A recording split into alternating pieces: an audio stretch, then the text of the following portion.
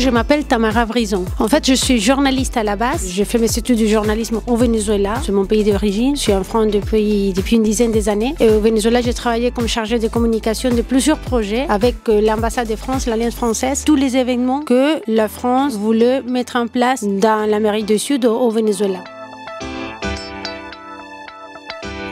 Cette année, j'interviens sur euh, stratégie recommandation. C'est master en marketing. Euh, quel est l'objectif de rencontrer les élèves à l'INSEC Moi, je suis une passionnée de transmettre mes connaissances, de partager mes connaissances depuis des années. Je suis enseignante depuis une vingtaine d'années. Qu'est-ce que mes étudiants m'apportent à moi? C'est un échange assez enrichissant parce que je le ressentis qu'il y a toujours une actualisation. Moi, je transmets mes connaissances, eux, toutes les nouveautés dans le domaine de la technologie et des nouvelles Si je recommanderais l'INSEC, mais bien sûr, tout à fait, je suis vraiment fière de faire partie de l'équipe de l'INSEC. C'est une école assez internationale. Le choix de l'INSEC, c'est assez exigeant.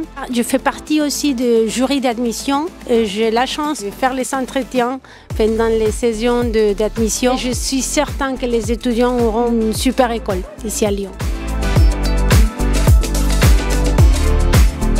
Quel conseil je donnerais à mes étudiants? Toujours le même, restez curieux, restez autonome, développez vos compétences et actualisez-vous toujours parce que nous, on est dans un domaine assez concurrentiel, c'est-à-dire il faut toujours être actualisé. Ça, c'est super important pour les stratégies de communication.